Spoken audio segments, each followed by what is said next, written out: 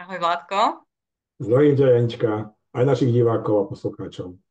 A ja pozdravujem našich divákov a poslucháčov.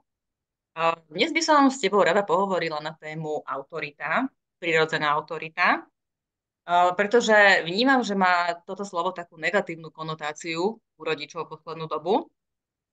Ja to vnímam ako niečo, čo nám príroda dala na to, aby vôbec sa výchova mohla uskutočniť. Hej, že dieťa vlastne potrebuje, aby ten rodič bol pre pre neho väčší, možno múdrejší, silnejší, aby ho viedol, aby mu vytvoril pocit bezpečia.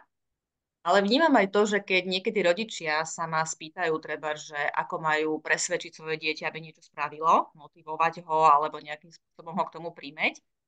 A ja im vysvetľujem, že to nie je otázka čo, toho, čo majú povedať alebo toho, čo majú urobiť, že to je práve otázka tej autority, ktorá sa stratila tak oni tak povedia, že pr, že, že nechcem byť autoritatívny, lebo môj rodič bol autoritatívny. Čiže si toto práve tak nejako zamieňajú a z toho vlastne nepravom pre toto slovo autorita vzniká taký negatívny náboj.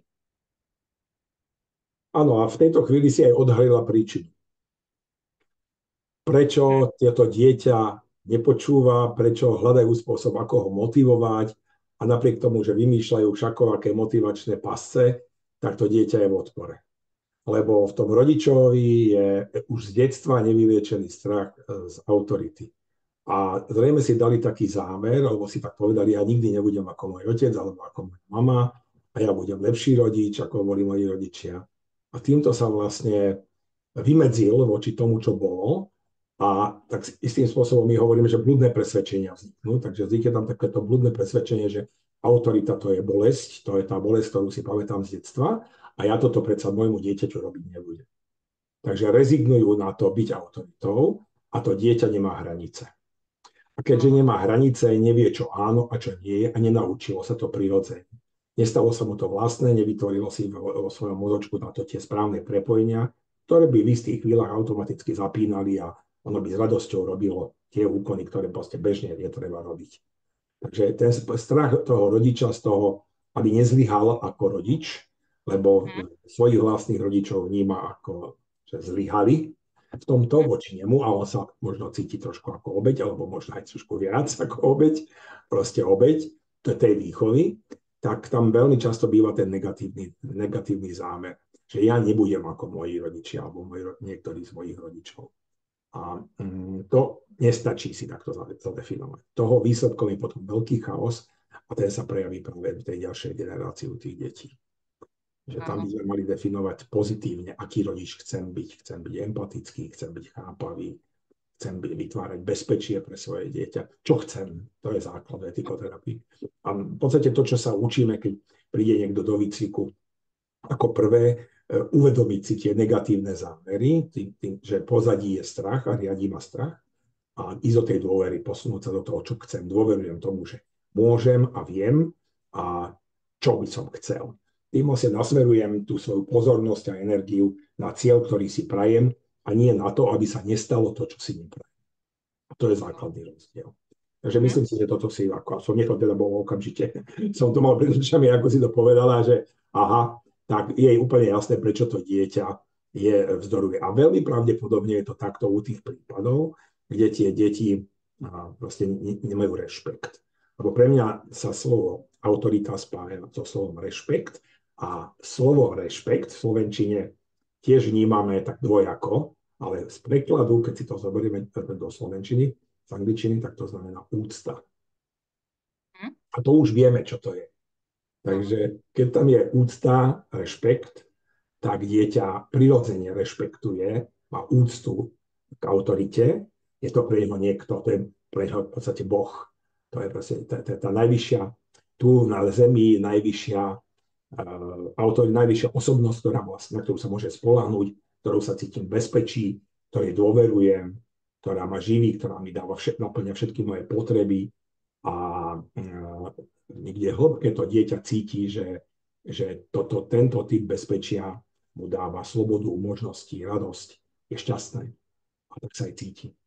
Ak toto je pokrivené, ak to dieťa má, uh, alebo tá rodina má tieto vzorce e, navnímané negatívne, že autoritárstvo a autoritá sa nerozlišuje, ale to splynulo do jedného, tak nastáva takýto problém, že vlastne nemáme hranice vo výchove. A potom dieťa nevie čo, kedy, ako. Má chaos v hodnotách, chaos v tých základných hodnotách a ten hodnotový chaos sa prenáša do konfliktov. Takže má konflikty aj s tými rodičmi, ktorí pre ňa nie sú autoritou. To sú takí starší kamaráti, ktorí keď chcem, tak robia to, čo chcem, keď nechcem, tak nerobím, čo, čo oni chcú. Vlastne každý si robí, čo chce.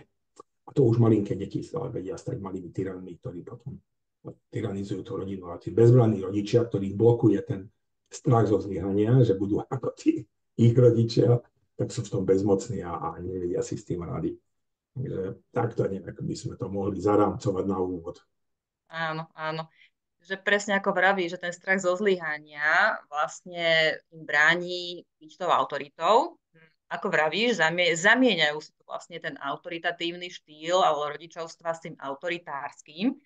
A keby sme si zobrali, že, jak som to spomenula na začiatku, že ten rodič je pre dieťa väčší, lebo naozaj je, silnejší, lebo naozaj je, múdrejší, lebo naozaj je. Tieto tri atribúty, a keď si ku ním pridáme láskavosť, a keď sa rodič bude ako keby v každej situácii tieto tri atribúty snažiť prepojiť, zároveň sa nebať byť ten väčší, silnejší a múdrejší, tak toto ja vnímam ako tú autoritu, hej, že mhm. vlastne rodič vždy, keď môže, následuje potreby dieťaťa, ale keď je to potrebné z nejakého dôvodu, tak prevezme to vedenie. Hej, že, a ja vnímam, že toto dneska tí rodičia sa boja, prevziať vedenie. Lebo ako sme spomenuli, hej, tí rodičia uh, preberali to vedenie mocou, bez tej láskavosti a toto proste oni nechcú a ako keby nevedeli, čo vlastne chcú. Držíme to, čo nechceme. Áno, presne, ja to vidím úplne rovnako, ako to hovoríš. Tým sa úplne stotožňujem. Tí rodičia naozaj nevedia, čo chcú, len vedia, čo nechcú.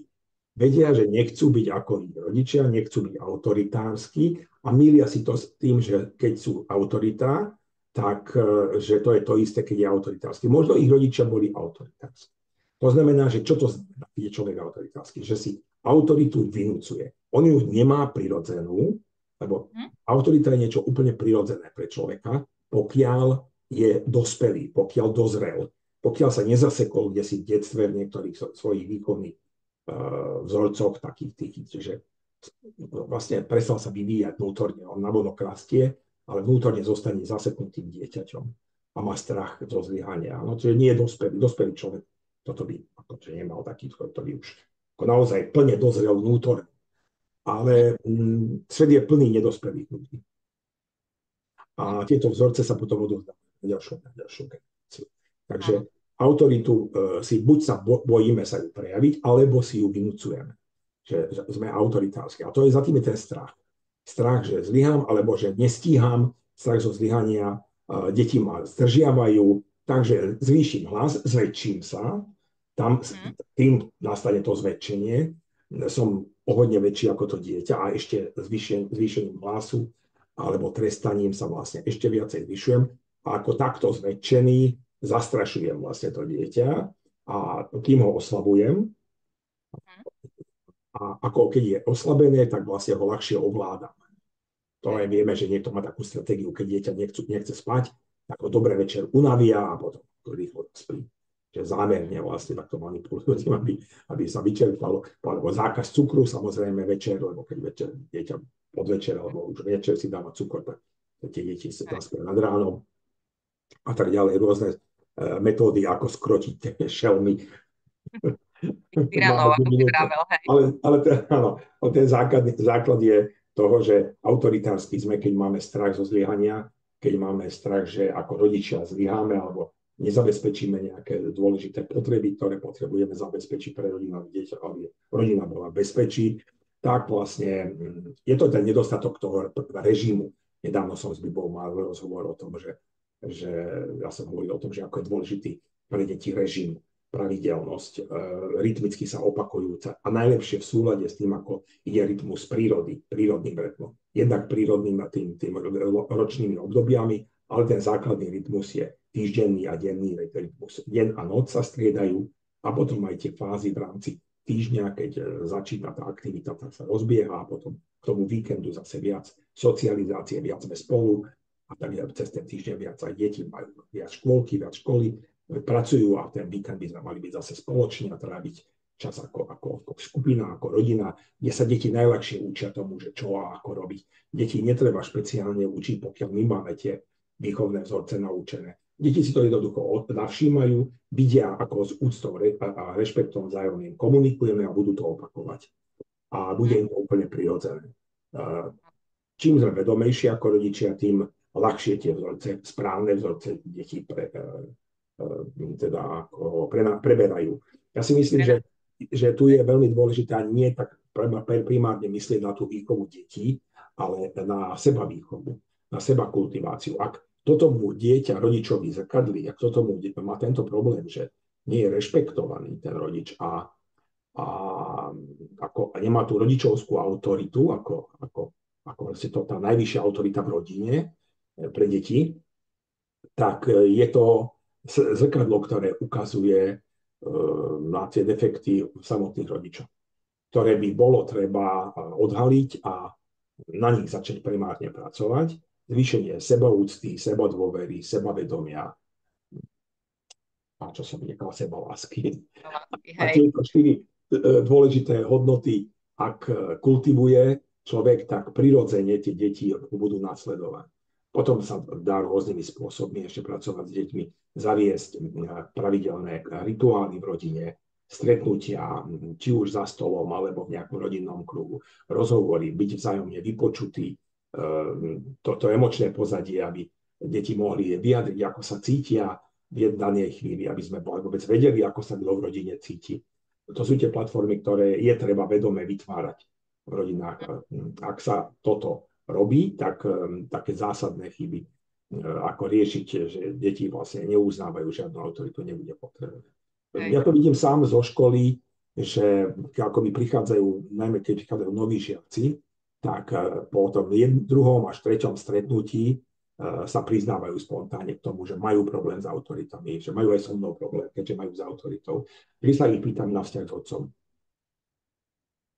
Lebo tam, kde si je väčšinou ten koreň, že vlastne je to nespracovaný vzťah s vlastným otcom a potom je problém aj s učiteľmi v škole, aj s prvým zamestnávateľom, väčšinou so šéfmi, alebo aj takto na takýchto kurzoch lektormi, ten, kto tam je v tej roli toho rodiča, toho, kto je ten, kto vie viac, kto dáva, kto odovzdáva, tak je automaticky postavený do tej, rodi, do tej roviny ako tá, tá, tá väčšia autorita, ktorá, čo je dôležité, mať dôveru v toho človeka, že, že som pri ňom bezpečí, to je základ.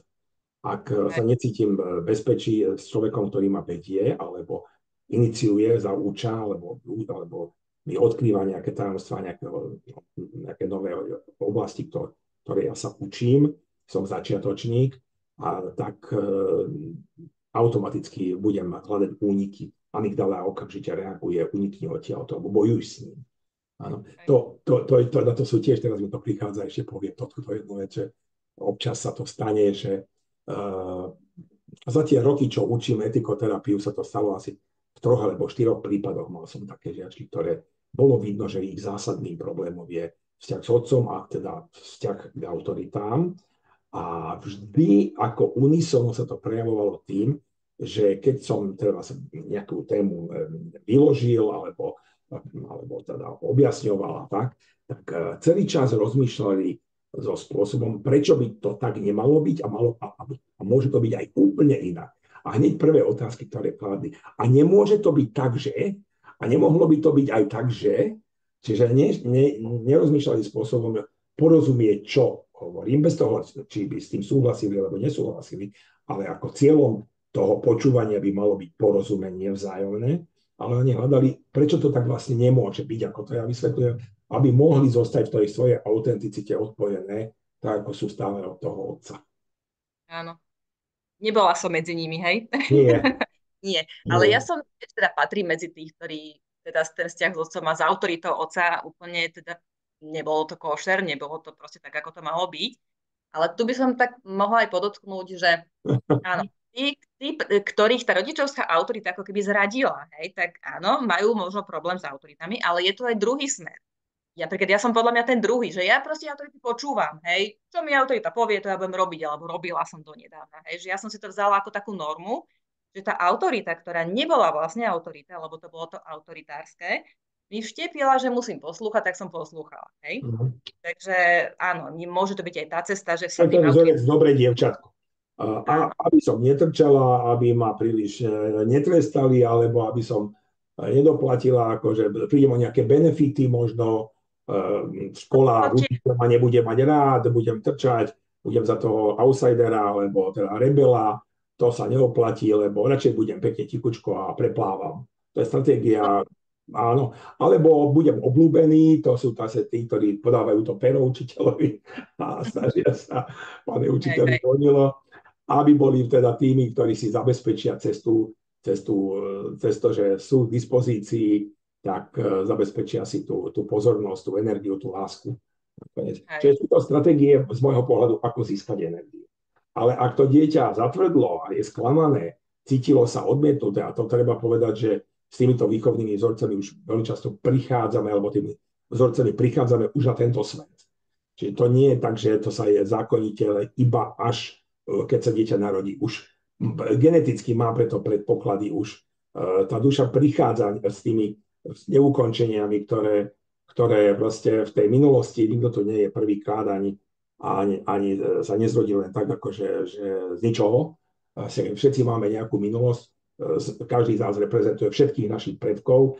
Ak naši predkovia mali nejaké takéto e, vzorce strachu, tak e, sa nám na nich odovzdali a my už s nimi prichádzame.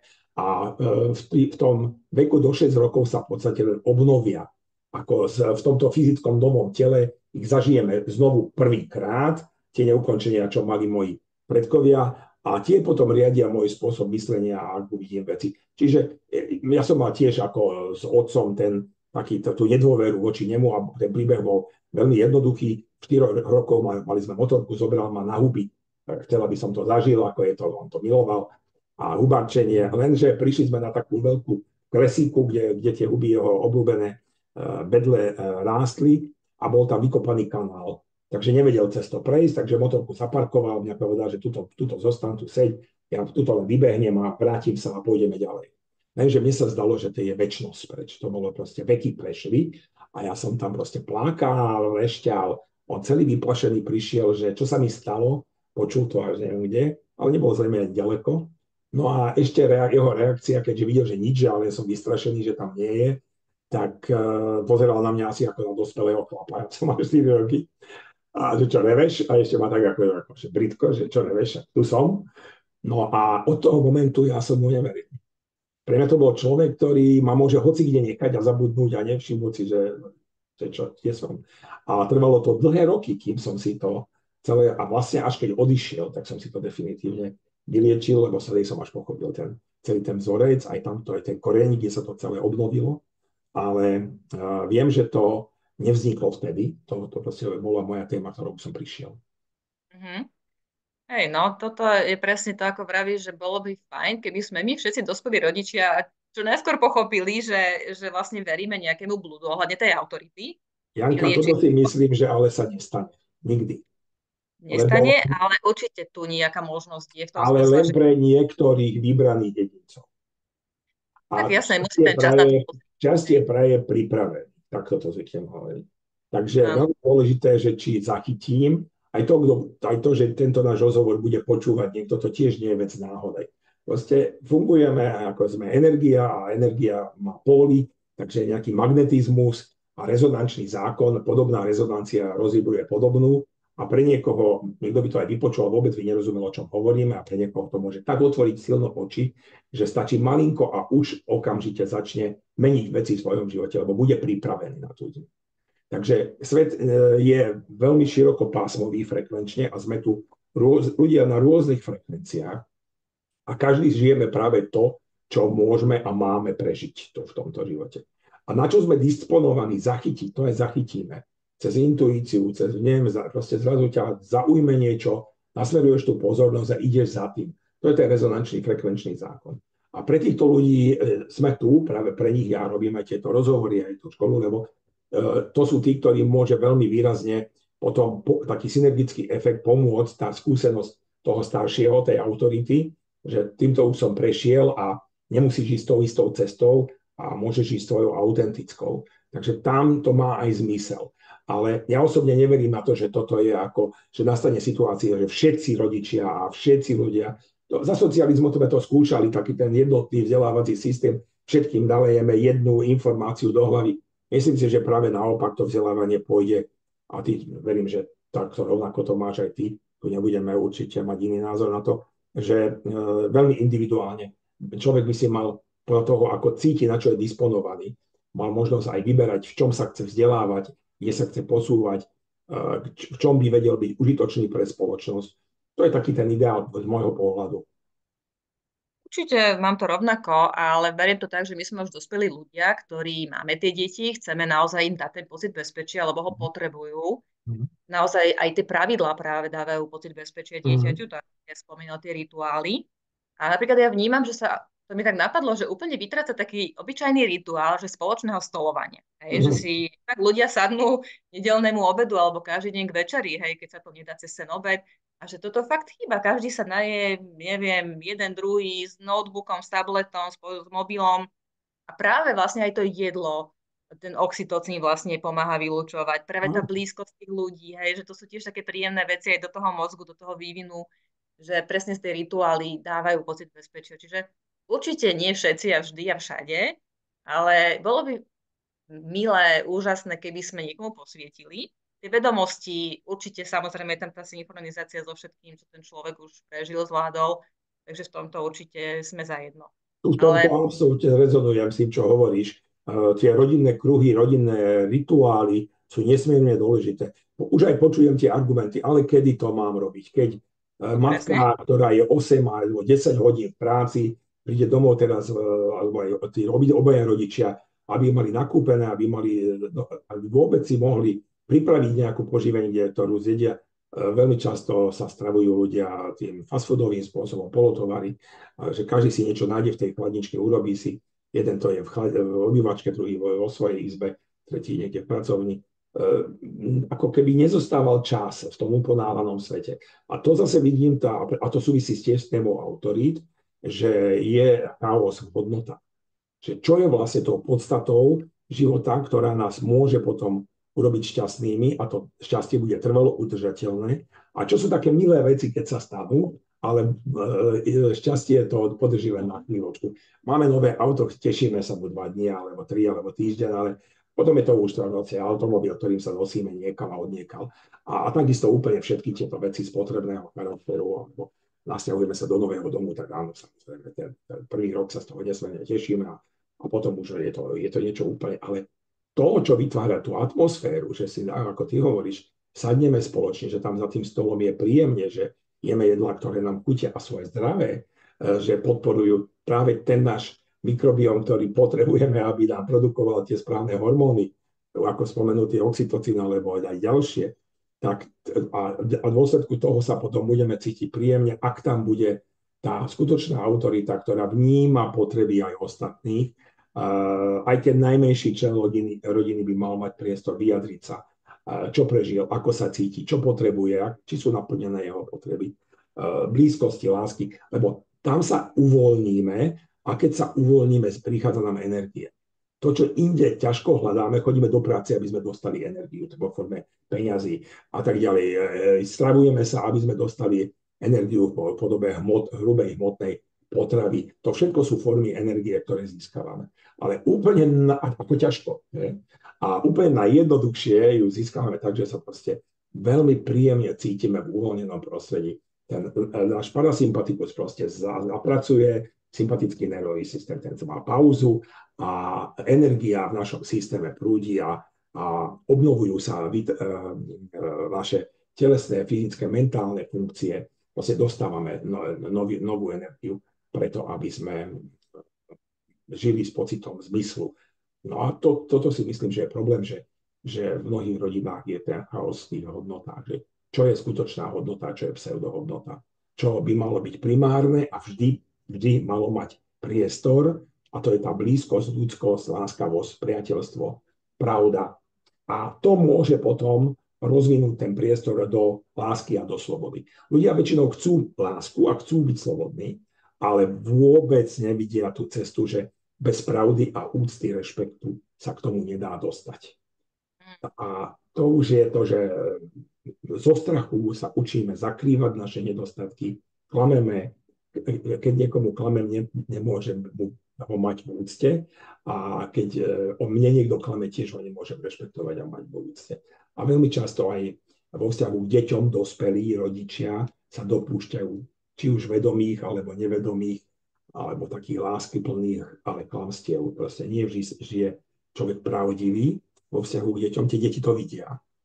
A tam niekde si myslím, že je ten blok, prečo potom e, toho rodičia vidia kriticky, e, vidia, že je slabý, je ten otec alebo tá matka je málo láskavá. Spustu, spustu klientov mi prešlo rukami, no, ktorí e, vlastne ťažko vyplakali to, že od tej matky nedostali to teplo, tú lásku, že to objatie, to, ten pocit tepla domova, alebo od toho otca, že proste triasli sa, keď sa mal, mal prísť domov, že tiež, e, ako tak boli šťastní, keď doma nebol, alebo keď prišiel, tak bol proste kryt, bíbka, pitky a tak ďalej, alkohol treba. Takže toto sú tie prípady, keď e, tam chýbala aj pravda, aj, aj tá úcta, rešpekt, lás. A potom prirodzene tam nie je láska. A ťažko byť láskavý, keď e, nemám úctu k sebe alebo aj k iným. E, čím viac rastie úcta a rešpekt k sebe, tým viac ho viem dávať aj ostatným. A to je, tým viac sa otvára potom brána k tomu, čo nazývame láskou, láskavosťou. Potom je ľahké byť láskavý. A ľahké je e, nadlediť láskavosť na princíp. Princípy sú veľmi dôležité, lebo nás chránia v tomto nebezpečnom svete. To je to bez, základné bezpečie ale mm, keď v domácom prostredí medzi blízkymi vieme, že napriek tomu, že som zlyhal, tak e, to nie je fatálne, že ste, e, bude mi to odpustené, ale viem, že ma to zavezuje k tomu, aby som na budúce neopakoval tie isté chyby. Takže toto môže byť taká cesta z môjho pohľadu cez psychoterapiu.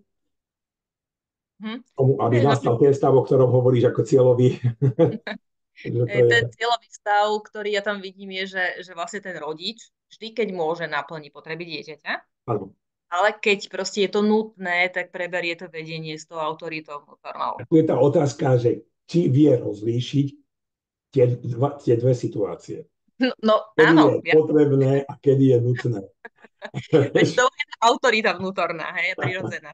A ak je... to jeho vnútorná autorita jasne povie a on je naučený ju počúvať, svoju vnútornú no. autoritu, no tak e, to bez myhnutia oka urobí a vôbec tým nepotrebuje k tomu ani školenie, ani kurz, ani tréning, nič. Proste to bude robiť.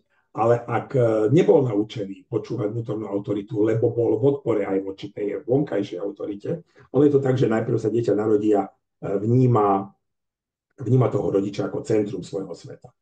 A neskôr prirodzene, prirodzene by sa mala tá, ten rodič manifestovať v tom človeku, v tom dieťati, v ňom samom a mal by si vedieť vytvoriť vzťah so svojou vnútornou autoritou, ktorej rodič je zrkadlom. Toto je taká tá prirodzená cesta k dospelosti. Ale ak dieťa je od malička v odpore voči rodičovi, ako k autorite, tak aj od, bude zostávať v odpore aj voči svojej vnútornej autorite. Nebude ju počúvať, bude intuí, netuší, čo je intuícia, netuší, čo je to stíšenie, a mm, riadi sa podľa toho, čo sa mu práve teraz v tejto chvíli oplatí. Rozmýšľa spôsobom, čo z toho budem mať, čo mi to prinesie. Čiže snaží, snaží sa nejakým spôsobom naplniť svoju vnútornú prázdnotu, ktorá tam vznikla práve preto, lebo nevznikol úzky kontakt, vzťah, osobný vzťah s vnútornou autoritou. Áno.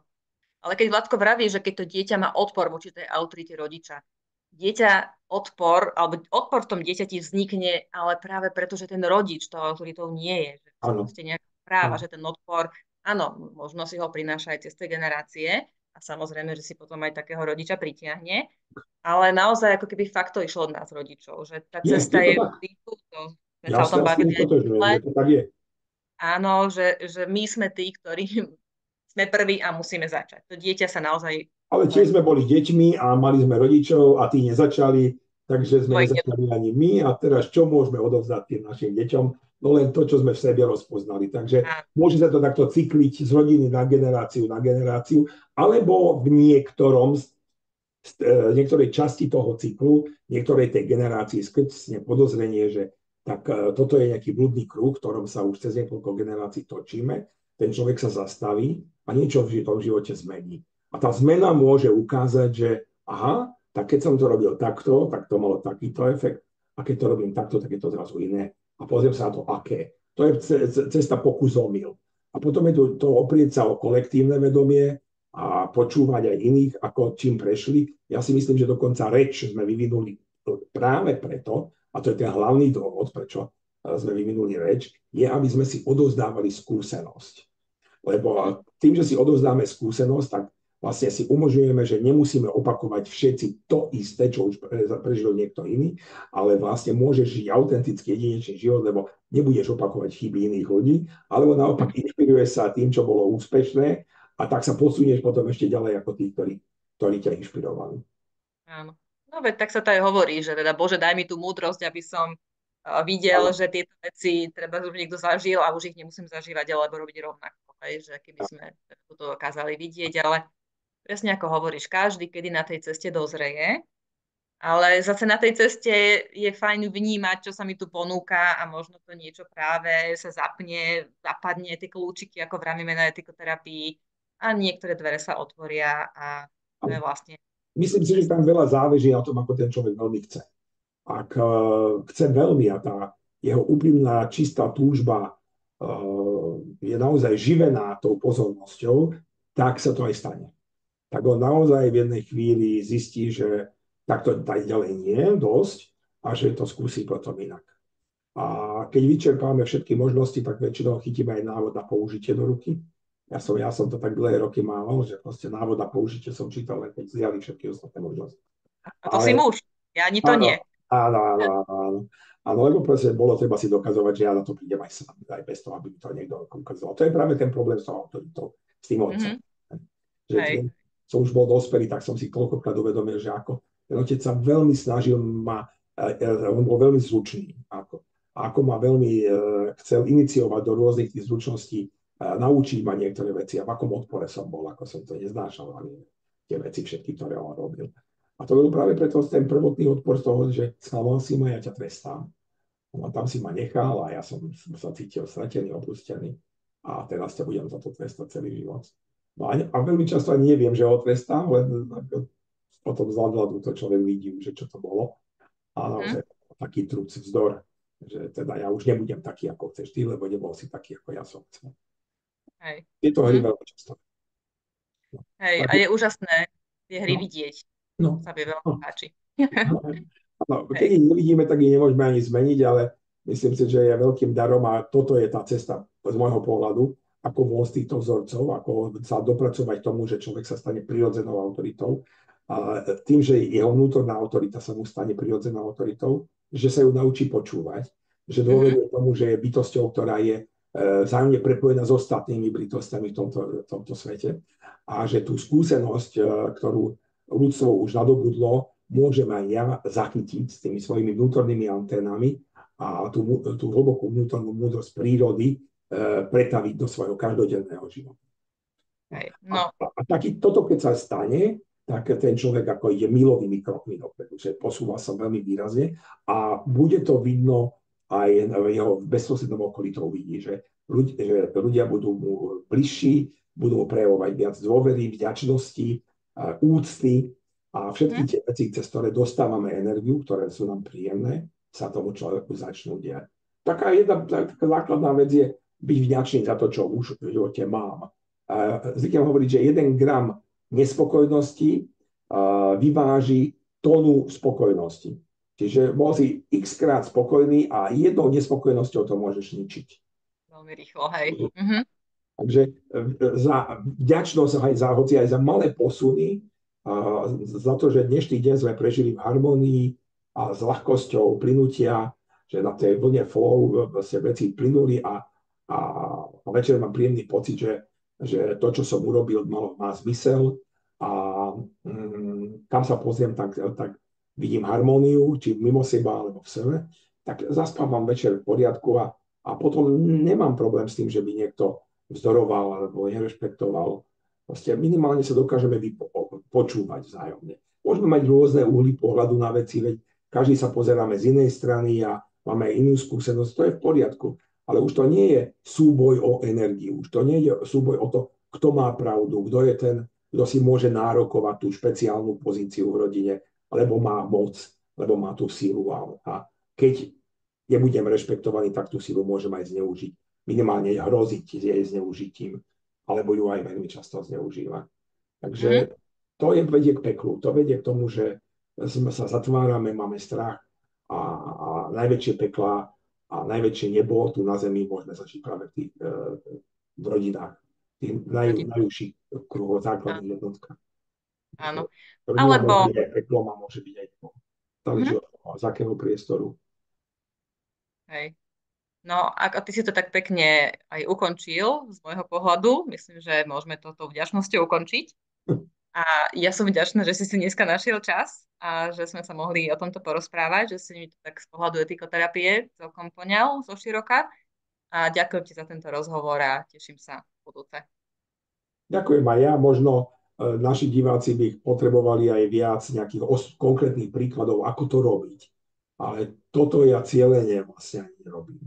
Alebo poprvé mám veľkú úctu k tomu, e, čo my všetci sme a viem, že keď človek porozumie tým hlbokým príčinám, takto ako sme ich otvorili tá, a, a pohrúži sa, tak e, to, čo má robiť, keď zmení ten vnútorný postoj k sebe, tomu už príde samé.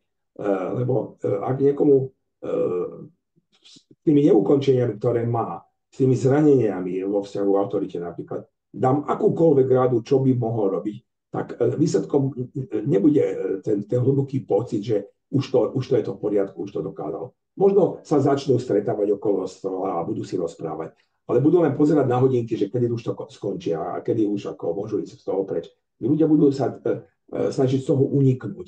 Čiže e, z, mojho, z mojej praxe je to tak, že tá skúsenosť hovorí o tom, že, že čokoľvek robím z priestoru, kde, kde ma riadi strach, tak vždy končí pocitom prázdnoty na konci. Čiže také nejaké latentnej nespokojnosti. A čokoľvek robím z tej hlbokej dôvery životu, uh, tak uh, ma privedie na konci dňa k tomu, že som vďačný, že ďakujem ti za túto tému, ďakujem, že som mohol uh, s tebou o tomto dneska tu hovoriť. Vnímam to ako dar, ako požehnanie, ako možnosť zamýšľať sa spoločne, my dvaja teraz a s nami ďalší poslucháči, stovky tisícky ľudí, ktorí si to možno vypočujú a keď ich to inšpiruje, keď ich to inšpiruje k tomu, že sa nad tým zamyslia, pohrúžia sa do svojho vnútra a tam sa dotknú toho, čo ja nazývam tou vnútornou autoritou, tak budú napojení na zdroj a tie v tej chvíli budú vedieť, čo majú robiť. Takže rozhovory so mnou veľmi často, ja to cítim, že aj keď niekto by chcel so mnou tým smerom, že poďme dať nejaké e, akože odporúčania nebo aj rady E, našim poslucháčom, tak ja z toho tak vždy trošku vyklúčkujem a, a už ma to ani nepúšťa, priznám sa do toho niekomu, niekomu radiť, lebo uh, pochopil som to, že radiť je podriadiť si. A to je potom to autoritárstvo. Stávam sa prirodzene tou autorita, tým, a tou autoritou, ktorá je, a ja si myslím, že je o mnoho dôležitejšie aby e, sme primárne mali kontakt s našou vnútornou autoritou a až následne potom uvidíme autoritu v každom človeku, e, ktorý nás inšpiruje.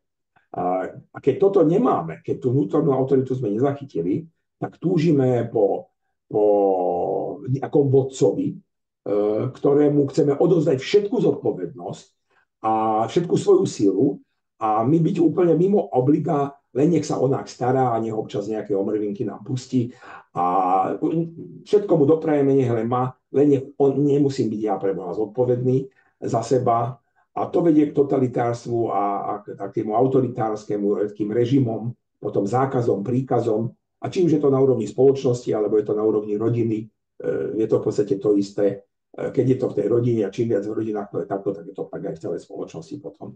Takže toto je tá cesta, tu som trošku chcel naznačiť aj, aj, aj možno do, do, do toho spoločenského života, ako zmeniť uh, spoločnosť, ako zmeniť systém cez seba, jedine cez seba. A iná cesta nie je, hej. Poďme sa teda, ďakujem ti ešte raz, uh, ja poďme sa teda zamýšľať spoločne nad tým, ako objaviť svoju vnútornú autoritu a ako si uh, kultivovať vzťah s ňou. hm. tak aby to bol vzťah priateľský, láskavý a aby sme sa vždy mohli spolahnúť na, toho, na to, že sme milovaní našou vnútornou autoritou a že vždy sleduje naše najvyššie dobro. Amen. Ďakujem ti pekne. Všetko dobré.